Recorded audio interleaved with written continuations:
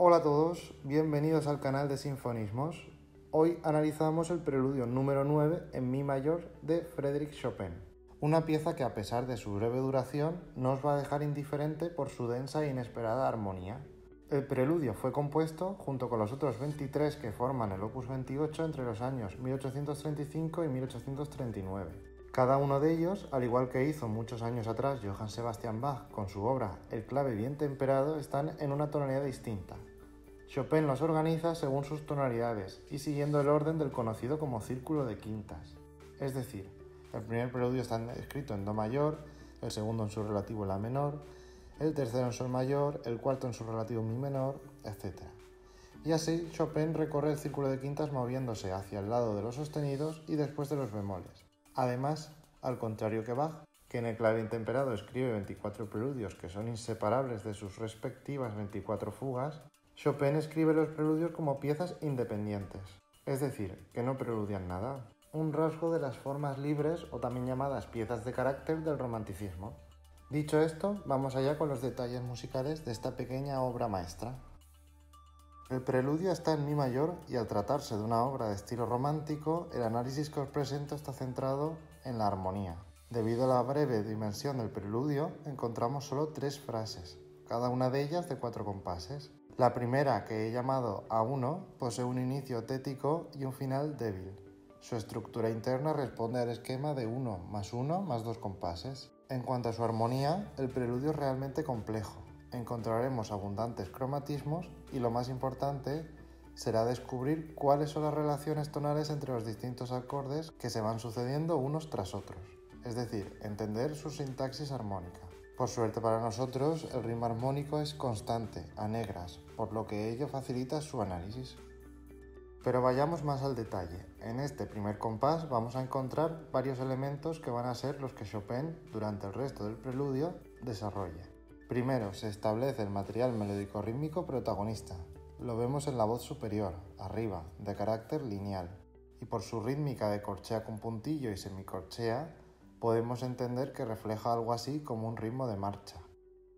Segundo, la voz superior se enfrenta a otra línea melódica importante, la línea del bajo. Este es más quebrado, con saltos, muchos de ellos de cuarta justa. De hecho, nada más empezar, Chopin presenta los tres grados principales de la escala, tónica, dominante y subdominante, con movimientos de cuarta justa. En la última negra del compás vemos un descenso diatónico de La, Sol sostenido, Fa sostenido.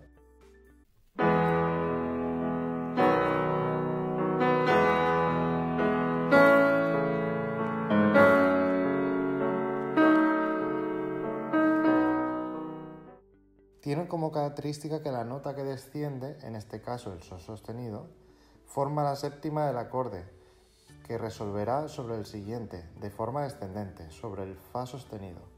Este descenso diatónico lo encontraremos más veces.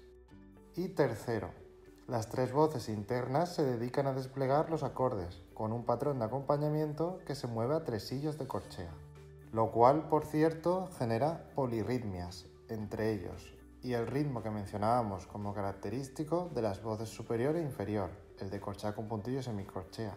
Es decir, se percibe una polirritmia, un enfrentamiento entre distintas subdivisiones del pulso, entre las tres corcheas del tresillo y las cuatro semicorcheas. Hacia el final de la primera frase se puede observar un círculo de quintas, un proceso típico de la tonalidad, que en este caso no aparece por completo en el bajo sino que la progresión de notas señaladas en la diapositiva la encontramos entre el bajo y una de las voces internas. Pero si observamos con más detalle, se puede ver cómo después de la secuencia Sol sostenido, Do sostenido, Fa sostenido y Si, la siguiente nota que debería aparecer sería el Mi en el compás 4, pero Chopin lo evita. ¿Por qué? Porque está retrasando la resolución.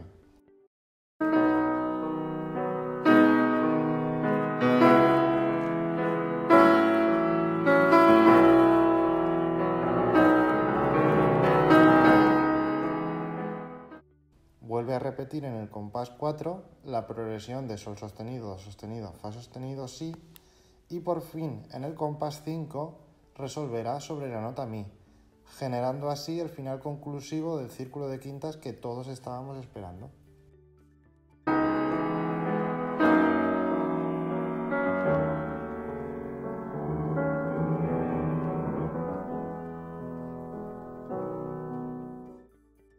Precisamente ese corte en el círculo de quintas esa resolución inesperada del si sobre el inicio de otro círculo de quintas con el do sostenido, genera una sonoridad de cadencia rota, es decir, una secuencia de quinto y sexto grado.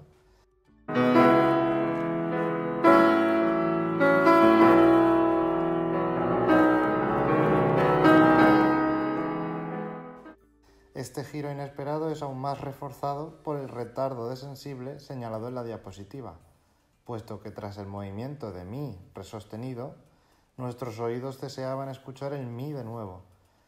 Vaya la resolución de la sensible re sostenido a la tónica.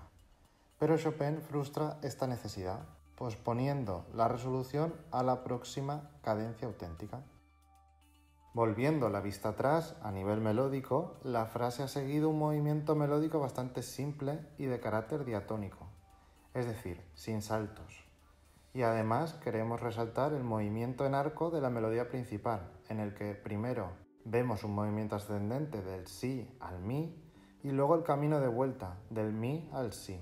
Por cierto, un paseo de ida y vuelta con un rango de cuarta justa, intervalo muy importante que el bajo ya había presentado desde el inicio, en el compás 1. En esta segunda frase, la melodía sigue teniendo un movimiento muy sutil, lento y ahora más cromático. Encontramos, con los círculos marcados, el desarrollo de ese movimiento diatónico que señalábamos en el bajo, que al descender se transforma en la séptima del acorde.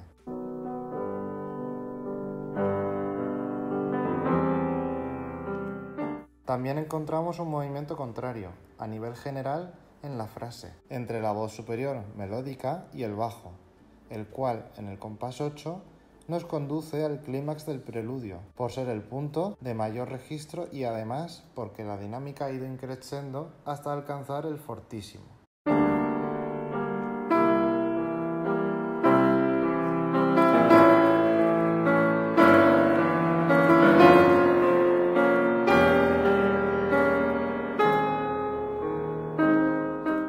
No obstante, la armonía es ahora más compleja e inestable.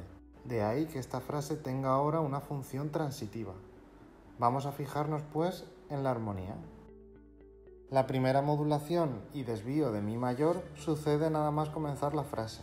Por transformación cromática de las notas, el acorde de Si mayor, quinto de la tonalidad de la que venimos, modula a Do mayor, con su nuevo acorde de la dominante sol, si, re. Chopin ha modulado al tono de lo que se conoce como región napolitana, es decir, el acorde sexta napolitana de la escala de si mayor sería do mayor, una segunda menor ascendente, porque como ya sabéis, la sexta napolitana es un acorde que se construye sobre el segundo grado rebajado un semitono. Pues esa relación entre estos dos acordes es ahora la relación entre las tonalidades de la modulación de Si mayor a Do mayor.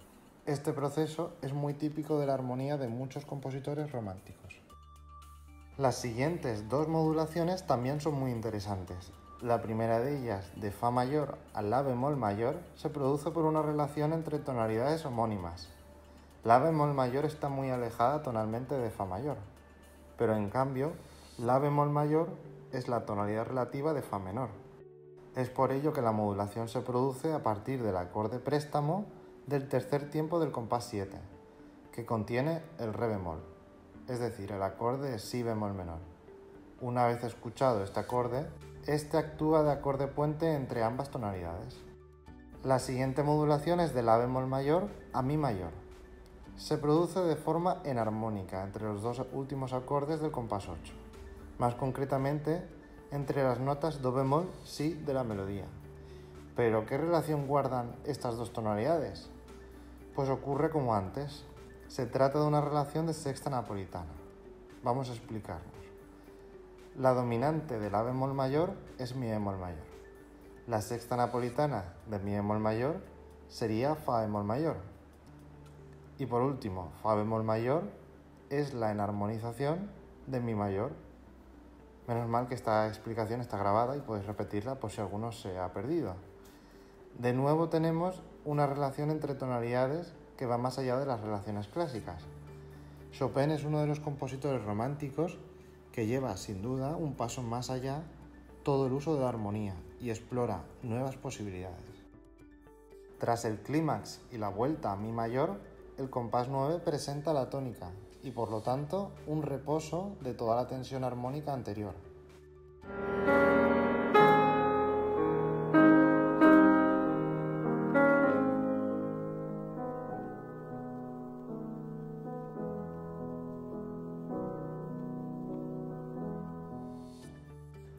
Inicia así la última frase que parece ser un retorno a la frase A1 principal, aunque se puede observar que nada más empezar, en el cuarto tiempo del compás 9 ya se presenta un acorde préstamo, con un Do natural.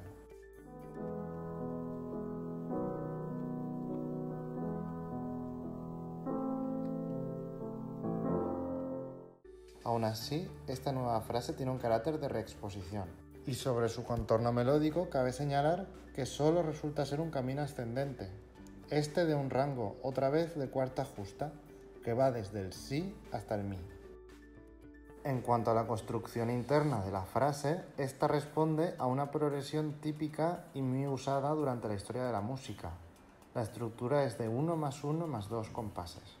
A dicha progresión se le conoce como método 1-2-3, término que fue acuñado por Leonard Bernstein y que lo definía como una forma de reflejar en la música aquello de a la de una, a la de dos y a la de tres.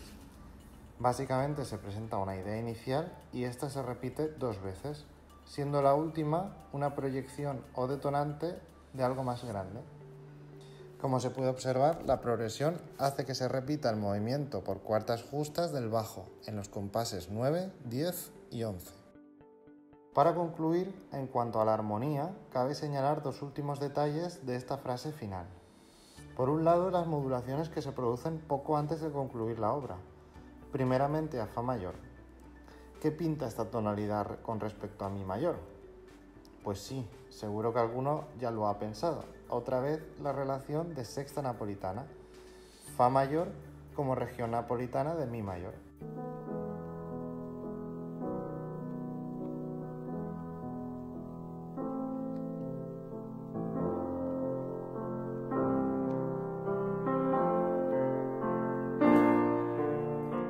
La siguiente modulación es ambigua, una de las características a las que más les gustaba recurrir a los compositores románticos.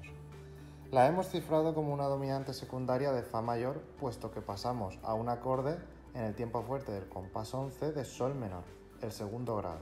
Este acorde se mueve a una dominante del segundo grado, y aparentemente en el compás 11 se cambia de centro tonal hacia Sol menor. Pero si vamos al tercer tiempo del compás, aparece el acorde de Sol mayor. Es decir, que ha cambiado de modo repentinamente y la nomenclatura de dominante secundaria no sería del todo correcta. Es difícil plasmar aquí esta ambigüedad de forma tajante con un determinado cifrado.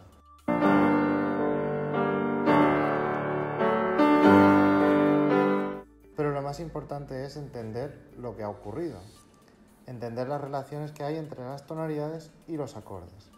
Es por ello que esto se trata de un cambio modal. El retorno a la tonalidad principal se produce por el cromatismo hacia el acorde de séptima de dominante de Mi mayor. La relación entre el acorde de Sol mayor y Mi mayor sería de tercer grado cambiado de modo otra vez. Un tercero que en este caso actúa como un acorde de dominante de la dominante,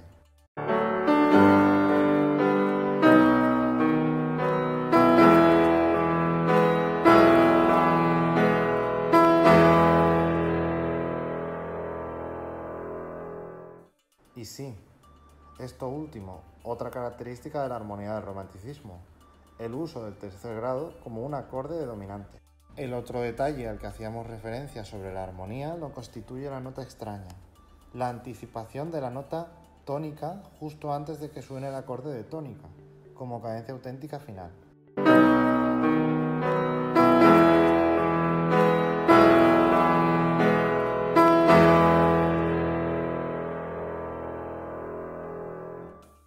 Esta nota extraña es habitual en estilos anteriores como en el barroco o el clasicismo. Pues así concluye este análisis. Aquí os dejo, como siempre, este esquema en el que podéis observar el planteamiento tonal. Se trata de un movimiento con una única sección A, formada por tres frases. El material melódico del preludio está muy unificado por un gran desarrollo que hemos destacado ya en el análisis.